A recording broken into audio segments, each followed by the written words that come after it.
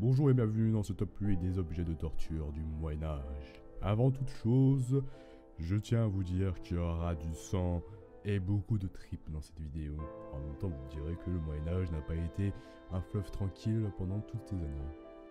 Du coup, si vous êtes susceptible d'être heurté par les images que vous allez voir, n'hésitez pas de cliquer sur s'abonner à Pastecoma et de regarder une autre vidéo. Allez, c'est parti Le bûcher.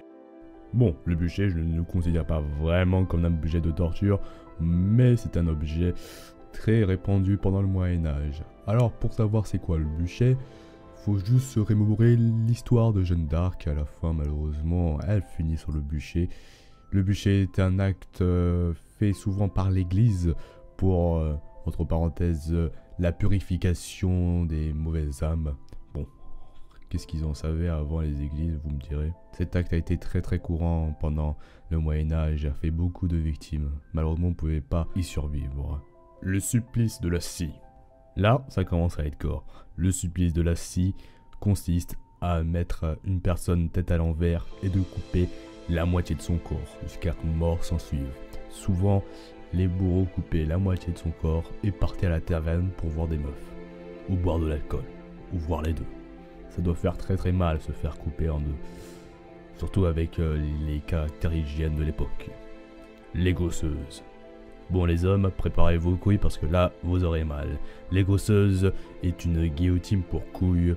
Imaginez juste une guillotine pour cigare cubain. Vous les mettez en deux pour les couilles et ça fait excessivement mal. Malheureusement, quand on pratiquait celui-ci, on mourait souvent d'une hémorragie à 100% ou d'une infection. Déjà en parlant de ça, j'ai déjà mal aux couilles. Le taureau d'airain, aussi appelé le taureau sicilien, le taureau d'airain est un instrument de torture conçu dans la Grèce antique. Du coup, ça remonte quand même à loin cet objet. Le but de cet instrument de torture était de mettre quelqu'un vivant dans un énorme taureau en métal euh, qui était bien sûr ouvrable avec une porte de l'extérieur on mettait quelqu'un dedans et on mettait un feu juste en dessous pour que la personne rôtissait un petit feu. Malheureusement, le condamné mourait atrocement d'une brûlure au 20e degré, comme j'aime bien le dire. J'imagine même pas l'odeur que ça peut avoir un homme rôti. Merc. Les cisailles crocodiles. Nous avons vraiment pas de chance, nous les hommes. Les cisailles crocodiles étaient un objet de torture très très horrible pour nous les hommes.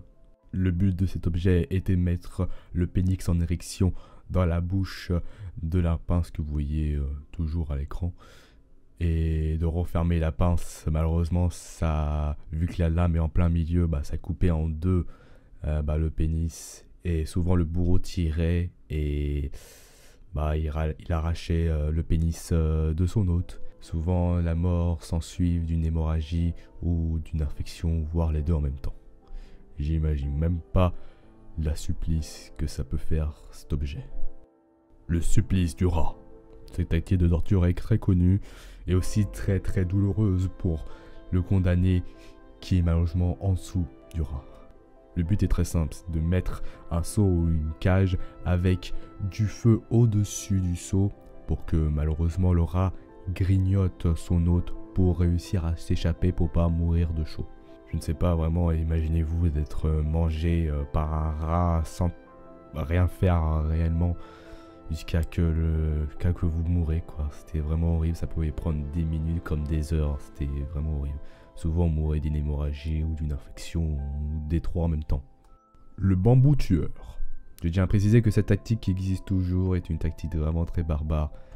Alors c'est quoi le bambou tueur? Le bambou tueur, euh, pour vous faire une idée, un bambou pousse un mètre chaque jour. Du coup, on, laissait souvent une personne assise sur une chaise avec un trou ou debout euh, en dessous de la pousse de bambou.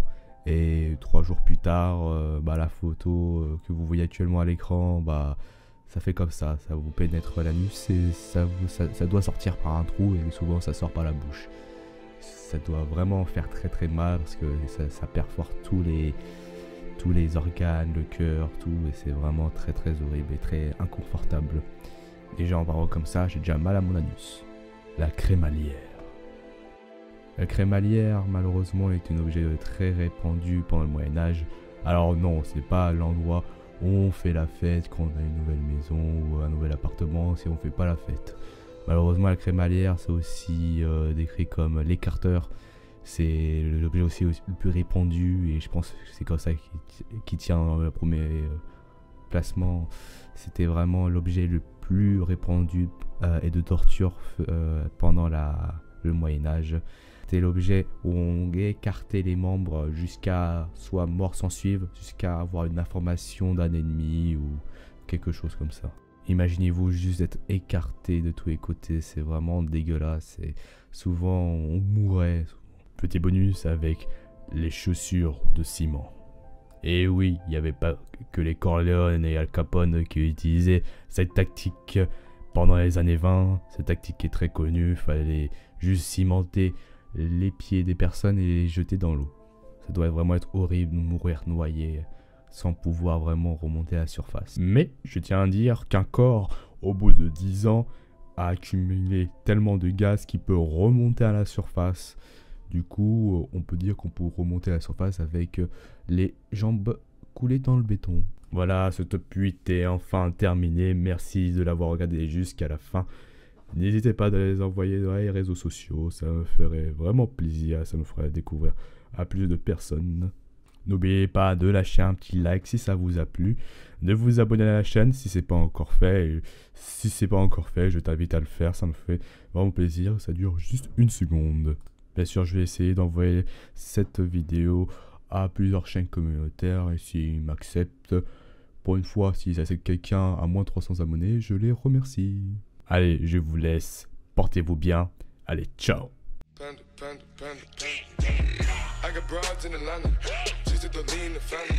Credit cards in the hitting the in the.